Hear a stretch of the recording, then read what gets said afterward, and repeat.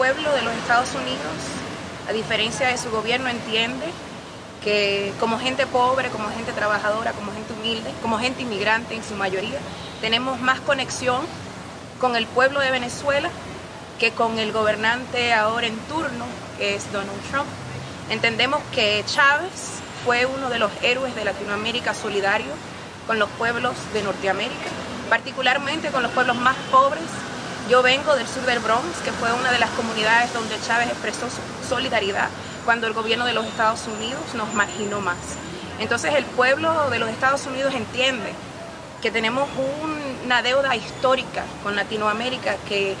desafortunadamente ha sido tratada como el patio de los Estados Unidos por mucho tiempo. Y esperamos que en crear vínculos de solidaridad, en crear puentes, proyectos en común, podamos fortalecer la lucha interna que tenemos los pobres de los Estados Unidos y fortalecer las revoluciones como Venezuela, Cuba y los procesos de Brasil y otras partes de nuestro continente hacia lo que es la liberación de los pueblos negros.